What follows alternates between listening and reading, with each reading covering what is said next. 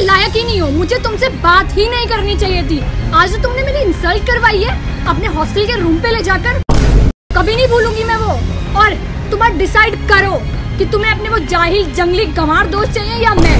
अरे, डट जाए एक मिनट क्या बोले जा रही है एक घंटा सु? आज तो बोल दिया यू बात कि दोस्तों या तुझ में से एक सिलेक्ट करे। आज के बाद मत बोल दियो। यार मेरे सारे सिंपल, ना कोई बड़ी हस्ती है। मेरी जान मेरे यारों में बसती है।